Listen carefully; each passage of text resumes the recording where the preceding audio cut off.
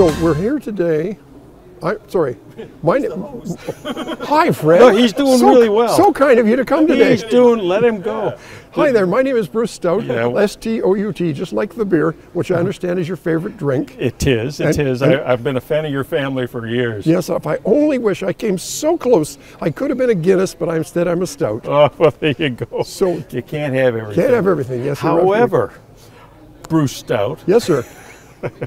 It's great to meet you. Thanks for taking the time to chat with us here in this sort of Disneyland of, of uh, Automania, the uh, 99th annual Vancouver International Auto Show. Have you been here before, sir? I've come here for probably the last decade or longer. And uh, I I think probably I actually came in here the first time in my stroller. Is that a fact? And that was over 70 you know, years for ago. an 11 year old, you, you're in remarkably good shape. You know, I, I was attracted to, to Bruce because he, he's dressed as if he's a visitor from uh, a previous century, but in fact, he carries with him a lot of information about this current and perhaps the next century. So tell us about the association you're involved in and tell us why all roads lead to electric. Oh boy, uh, how many hours do you have? Well, So the association was started 31 years ago in 1988, and one of the reasons for the starting or founding of the association was to take custody and ownership of a 1912 Detroit Electric.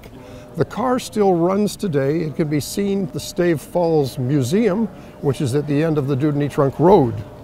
The reason we're standing here today in front of this Nissan Leaf is because I drove one once upon a time and I thought it was a great car. And apparently it's just been the winner of the AJAC Car of the Year, Green Car of the Year. happened moments ago. And I think it's an excellent choice for a green car of the year. why?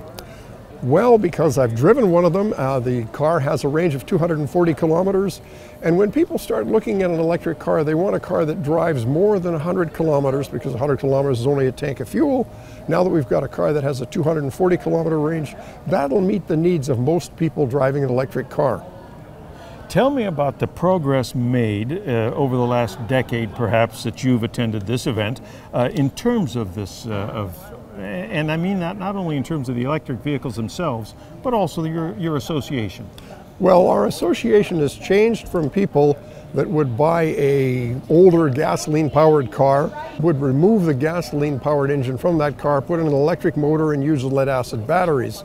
We don't do that anymore. And one of the reasons we've quit one of the reasons we've quit doing that now is because it doesn't make any sense to do that. Because at the end of the day, what you've got is a hobby, you don't have an appliance. So now with all the manufacturers spending billions of dollars to make appliances, this is where it's at right now. To seeing the fact that this year is the year of the electric car, there's a wealth of opportunity for people to come down here and test drive electric cars. So they're using both the inside and the outside uh, of this beautiful convention center, Absolutely correct. basically to educate people as to what the latest is and how similar as well as dissimilar it may be to the vehicles or appliances that they're currently driving. Absolutely fantastic way of putting it because you can come to this location today and look at all of the vehicles that are on display here and get information about those vehicles without any pressure at all of somebody trying to convince you to buy one of them. And it's a great opportunity for you to look around and see what you like. The most important thing about a car is to open the door, get inside, try out the seat, try out the controls, and even better, you get the chance to actually drive one today. You can drive one with somebody sitting next to you who isn't going to try and sell you the car. The only reason they're sitting next to you is because once you've driven that car, they want to make sure you bring it back. This is, uh, speaking of saving time and money and energy, Absolutely. this show is, is a remarkable opportunity to do that kind of comparison shopping to find the glove, for want of a better term, that, that really fits you and your family or your personal or professional needs for automotive. One of the biggest advantages of this show is that the person that you're talking to has been trained in knowledge about these cars.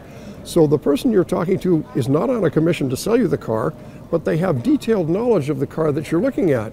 So you'll get an opportunity to talk to somebody who really knows the car well. And that's why it's worth paying the admission price to come down here because you can do a great deal of car shopping in a very small location and you have a very good use of your time. I know you love the Leaf. Anything else somebody ought to keep an eye out for, whether they're shopping for electric or not? Oh my goodness, there's cars that you can test drive downstairs, so you'll find the car that fits you just beautifully. The major reason I have a soft spot for the Leaf is because I drove one for three and a half years, and at the end of three and a half years and 63,000 kilometers, the battery was still at 95% good. So the fear, uncertainty, and doubt that people have put in certain people's minds about these cars not lasting is just fear, uncertainty, and doubt. It's not true. It was a great car. The only reason I changed to something else is because I wanted something with a little bit more range, and there's all sorts of those cars here today for you to try. Faribault. Thank you, Bruce. Thank Stout, you, Fred. all the best to. Really uh, appreciate your time today. hey, back at you, and best of luck with the association and its progress into the new century. Thank you so much.